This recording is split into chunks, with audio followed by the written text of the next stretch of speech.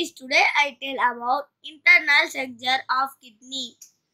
Cortical zone, medullary zone, minor calyx, major calyx, middle papilla of first group, fiber capsule, pyramid, uter, middle papilla of ant group, renal A, renal B, ra- renal pelvis, internal structure of brain, planning judgment, prefrontal cortex, frontal cortex, reward, nucleus accumbens, reward media, forebrain bundle, ventral tegmental area, emotion, condition effects, amygdala.